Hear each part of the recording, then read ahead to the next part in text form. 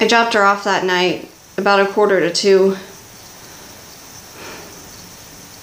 I should have asked her to come over, or at least asked her if anything was wrong. But she seemed normal. Not happy exactly, but like herself. I met her freshman year in British literature. We made each other laugh. She was bitter and cynical, but still really nice. I knew she had depression, but mm, it was weird.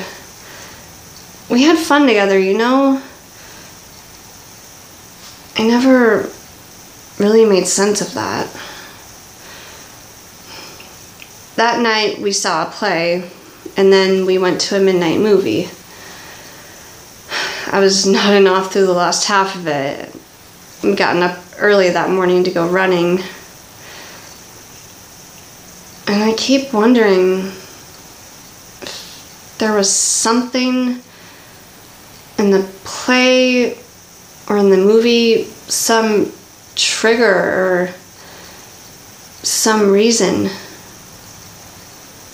Something that could set her off, you know? Something I missed. I keep trying to look for clues, for answers. She had survived so much. Why that night?